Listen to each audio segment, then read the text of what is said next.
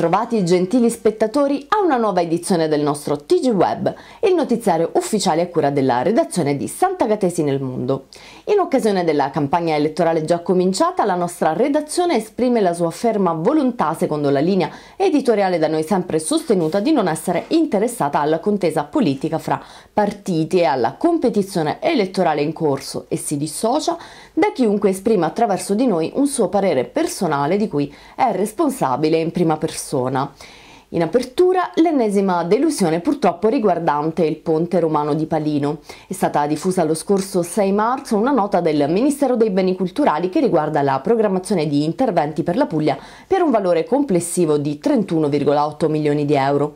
Gli interventi programmati nel territorio pugliese interessano il Museo Contemporaneo dell'Audiovisivo di Bari, il recupero delle, delle mura urbiche di Lecce, della Torre Matta di Taranto, delle grotte di Tricase dell'area della Focara di Novoli, interventi per l'ipogeo di San Sebastiano di Galatone e per il castello di Gallipoli, interventi di valorizzazione per il polo di Taranto e per il complesso dello Spirito Santo di Lecce, il recupero dell'ex convento di Santa Maria di Vieste, del teatro di Apollo a Lecce, dello scavo archeologico di Porto Badisco a Otranto e del palazzo baronale di Novoli. Il neoministro, nonostante una immediata risposta del sottosegretario ai beni culturali Ilaria Borletti Buitoni, che si era fatta carico di trasmettere la nostra nostra segnalazione sul ponte romano, ha ancora una volta ignorato il nostro sfortunato ponte del 38 a.C., morente da quasi dieci anni.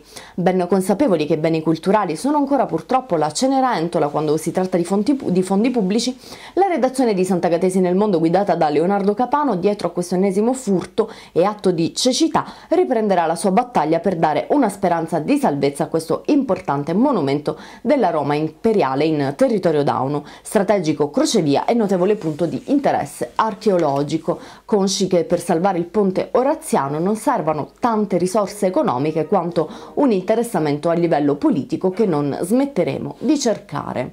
Cambiamo ora argomento per passare a un evento sportivo in programma sabato 8 e oggi domenica 9 marzo a Sant'Agata di Puglia. La Federazione Pugilistica Taralli di Foggia infatti presenta le semifinali e le finali del torneo interregionale esordienti di box presso il Palazzetto dello Sport a partire dalle ore 18 di entrambi i giorni con ingresso libero. Il torneo è riservato alle categorie Schoolboys nati nel 2000-2001, Junior 98 99 e Youth nati nel 96-97. Sabato le semifinali e domenica 9 le finali che assegneranno il trofeo pugliese paragonabile al torneo di Viareggio nel calcio. A Sant'Agata si sfideranno i pugili delle province di Potenza, Matera, Taranto, Brindisi, Lecce, Bari, Foggia, appuntamento importante prima del Talent League of Boxing previsto per fine mese in Campania. Artemisium Web TV riprenderà la manifestazione e in serata i filmati saranno disponibili sul nostro portale www.santagatesinelmondo.it.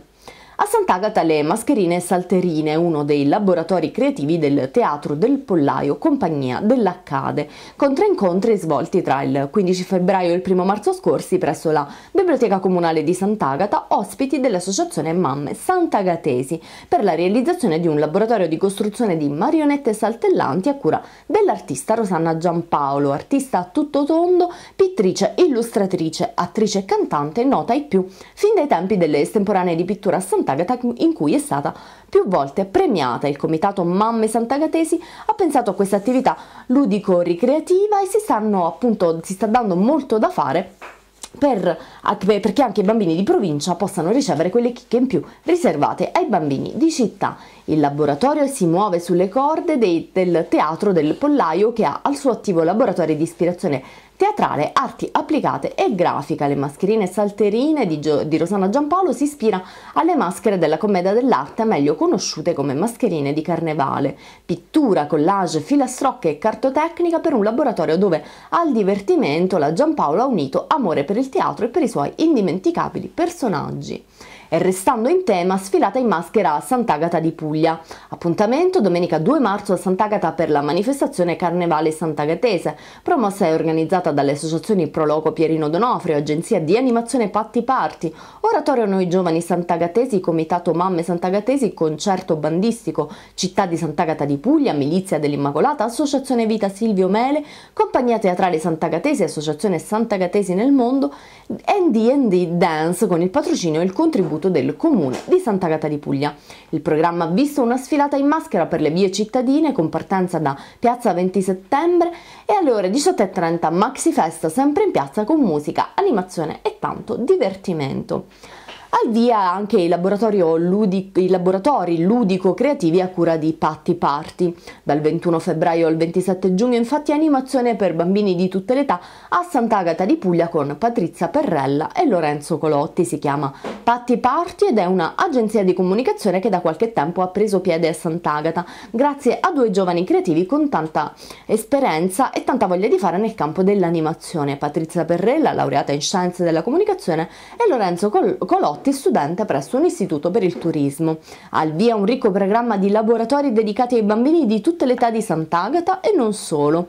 Dopo il carnevale e la baby dance, il venerdì 21 marzo dalle 17 alle 18.30 le uova di Pasqua senza cioccolato, l'11 aprile il laboratorio di pasticceria che tira su, il 25 aprile Baby Zumba con Lorenzo Zin, il 9 maggio a scuola di magia, il 23 maggio e il, primo, e il 13 giugno creiamo gli animali. E il 27 giugno laboratorio di pasticceria con un biscotto tira l'altro. Il contributo per ogni singolo laboratorio è di 3 euro per partecipante, oppure è possibile effettuare un abbonamento per tutti i laboratori alla modica cifra di 20 euro.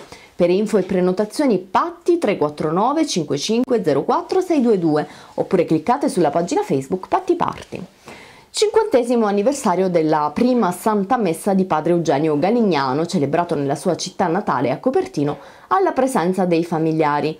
Padre Eugenio, dell'Ordine dei Frati Minori Conventuali, è stato parroco delle parrocchie di Sant'Andrea Apostolo, San Michele Arcangelo e San Nicola a Sant'Agata, dove lo ricordiamo con molto affetto. Da qualche anno Padre Eugenio, per la chiusura del convento francescano di Sant'Agata di Puglia, è stato trasferito a Lucera come rettore della Basilica San Francesco Antonio Fasani, dove ha festeggiato il suo cinquantesimo anniversario affiancato da Padre Alessandro, frate assistente, e da un diacono della Basilica. Numerosi i fedeli di Sant'Agata anche qualcuno di bovino presenti. La nostra redazione lo ricorda con affetto e gli augura tanta salute e una lunga missione religiosa.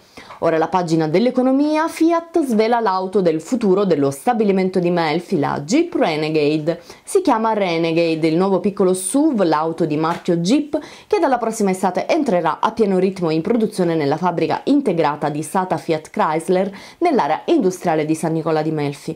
Il nome, il nome del nuovo modello auto doveva restare un segreto fino al Salone internazionale di Ginevra, ma tutto è stato svelato in anticipo sulla rete, contenuti tecnici, forme e persino strategie strategie di mercato e la curiosità per il nuovo SUV è che Jeep passa per la prima volta nella sua lunga storia industriale ad un cosiddetto fuoristrada di piccole dimensioni che gli indicatori di mercato confermano senz'altro essere sempre tra i più richiesti non solo in Europa ma anche in altri continenti come quello americano e quello asiatico. In SATA la SUV Jeep, progetto USA e costruzione italiana, troverà pieno regime produttivo a Melfi insieme al crossover Fiat 500X. Condivideranno la medesima piattaforma di costruzione e gli standard di motorizzazione. Anche per questa ragione alla SATA di Melfi fervono incessanti preparativi. Bando nidi, nuove iniziative di impresa, il GAL Meridaunia sta organizzando una serie di incontri su, informativi sul territorio dei Monti Dauni al fine di dare informazioni e consulenze relative al bando Nidi, nuove iniziative di impresa, il bando della Regione Puglia rivolto ai giovani, donne, disoccupati e precari che hanno voglia di mettersi in gioco avviando un'attività in proprio. Prossimo incontro venerdì 12 marzo alle 17 a Biccari nella sala consiliare. Inoltre per le consulenze sul bando tutti i giorni attivo lo sport sportello del GAL Meridaunia presso la sede di Bovino. Per prendere appuntamento telefonare allo 0881 966 557 oppure 912 007 oppure info chiocciolameridaunia.it. 10 anni di bontà nelle scuole di Foggia. Particolarmente attesa la cerimonia del decennale della bontà nella scuola nella nostra provincia, sia per gli studenti che per gli organizzatori. L'intento è stato quello di ricordare le innumerevoli attività svolte sul territorio e, le numerose qualificazioni alla giornate della bontà a Roma da parte delle scuole provinciali vincitrici del premio Livio Tempesta. La realizzazione del convegno è stata possibile grazie all'Istituto Superiore di Scienze Religiose e all'Università Telematica Pegaso. La cerimonia svoltasi lo scorso scorso 7 febbraio è cominciata con il saluto di Don Fausto Parisi ed è stata moderata dalla professoressa Rina Di Giorgio Cavaliere, curatrice di una pubblicazione, oltre che onorata dalla presenza del presidente nazionale, il professor Antonio Lerario, e del delegato regionale, il professor Fabrizio Felli, il professor Matteo Morlino e il dottor Luciano Melino, referente dell'Università Pegaso, Livio Tempesta di Guagnano, paese della provincia di Lecce, scomparve prematuramente ma con i suoi dieci anni di vita ha creato un interesse alla bontà nelle scuole d'Italia che dura finora. A Foggia si festeggia la biblioteca provinciale. Ha avuto luogo lo scorso 14 febbraio la conferenza stampa di presentazione del calendario di eventi per i 180 anni della biblioteca provinciale La Magna Capitana. Buon compleanno biblioteca! Intanto per cominciare è stata allestita una mostra bibliografica e filmografica sui carabinieri nello spazio antistante l'auditorium per celebrare i 200 anni di storia dell'arma. Foggia, Fondazione Buon Samaritano, aiutate 200 famiglie prestiti per un milione e mezzo di euro. Nel 2013 le famiglie in cerca di aiuto che si sono rivolte alla Fondazione Buon Samaritano, il cui consiglio direttivo è presieduto dall'ingegner Giuseppe Cavaliere, sono state tantissime e tanti i prestiti concessi. Soci fondatori della fondazione che ha compiuto ormai 18 anni, Arcidiocesi di Foggia Bovino, provincia di Foggia, comuni di Foggia, Manfredonia, Cerignola, San Severo, Lucera, San Marco in Lamis, Ortanova, anche Sant'Agata di Puglia, la Camera di Commercio, Confesercenti, Confcommercio, Assindustria, Banca della Campania, Banco di Napoli, Monte dei Paschi di Siena, Banca Popolare di Novara e numerosi soggetti privati. Nuova sede degli Angeli a Lucera. L'associazione di protezione civile Gli Angeli, coordinata da Francesco Pio Paoletti, si amplia e dopo le sedi di Alberone e Motta ne apre una terza, creando così Gli Angeli di Lucera, fondata da tutte donne nel 2011. La prima associazione di protezione civile tutta in rosa ha fatto passi da gigante e assume un ruolo attivo nel garantire servizi sanitari perseguendo fini protezionistici di solidarietà umana e promuovendo campagne di sensibilizzazione disponendo anche di defibrillatori e personale volontario sanitario e non abilitato all'utilizzo. Infine una nota sull'Oscar alla grande bellezza di Paolo Sorrentino come miglior film straniero, consegnato dall'Academy di Los Angeles a Gente del Sud, napoletani doc come Sorrentino, Tony Servillo e Nicola Giuliano della Indigo Film. Sull'argomento nella nostra sezione news un ottimo articolo di Maestro Castello. Ora lo sport Girotondo Bike 2014 presentato il calendario delle gare. Il 22 e il 23 febbraio scorsi al via la principale, la principale manifestazione ciclistica di Capitanata con 11 tappe, oltre 1200 km da percorrere, 28 comuni da attraversare in 4 province e 2000 metri di dislivello massimo da superare. Questi numeri della seconda edizione di Girotondo Bike, la competizione ciclistica amatoriale organizzata dalla SD Francesco Di Palma di Stornarella. Il regolamento è disponibile sul sito www.girotondobike.it. Prossimo appuntamento invece per il Foggia Calcio dopo la splendida vittoria contro il temuto Cosenza, fuori casa contro il Gavorrano in provincia di Grosseto, domenica 6 allo Zaccheria contro la Casertana, domenica 23 a Sorrento e domenica um, successiva a Castelrigore. Al momento i rossoneri di Mister Padalino sono quarti in classifica a 43 punti, dietro Teramo e Casertana a 47 e Cosenza a 46. La Commissione Pari Opportunità della Federazione Nazionale della Stampa ha lanciato un appello al mondo dell'informazione in occasione dell'8 marzo, invitando i conduttori di trasmissioni televisive e radiofoniche ad aderire alla campagna post-occupato, riservando una, sie- una sedia solo apparentemente vuota alle donne vittime di violenza affinché quell'assenza diventi ingombrante. Anche la redazione di Santa Gatesi nel mondo si unisce all'iniziativa diffusa in maniera virale per sensibilizzare la popolazione sulla violenza contro le donne ancora troppo diffusa. Bene amici, il nostro TG termina qui, come sempre grazie a tutti voi che ci seguite fedelissimi, vi invitiamo a navigare quotidianamente sulle pagine di Santa Gatesi nel mondo e a segnalarci notizie ed eventi per la nostra Artemis Web TV.